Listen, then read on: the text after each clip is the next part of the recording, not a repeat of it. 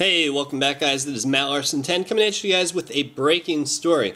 Ron Paul has now just been confirmed to have won the county convention in Louisiana. He has won 111 out of 150 uh, delegates to the state uh, delegation, 61 out of 72 alternates, and he is set for the June 2nd state convention in Louisiana.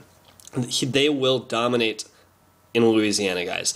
That is a huge win. Ron Paul almost picked up 75%, I believe it was 74% of uh, the original delegates, and then he picked up 85% of the alternates. So to say that Ron Paul's not winning, guys, mainstream media is just outright lying. I mean, uh, Ron Paul is doing amazing, guys, in all these caucus states. And actually, Ron Paul, I've just found out also, he is winning Massachusetts. Uh, he uh, is just completely killing it right now. He's won two of the three available delegate slots in Massachusetts' first district in Saturday's caucuses.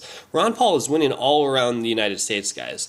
Uh, I'm going to be coming out with my next video quite shortly because honestly, this information is too important not to get out there, so stay tuned for that. Uh, you guys make sure you thumbs up this video. I'll put the sources down below in the description if you want to read up on how each district did. Until then, guys, it is Mat Larson 10.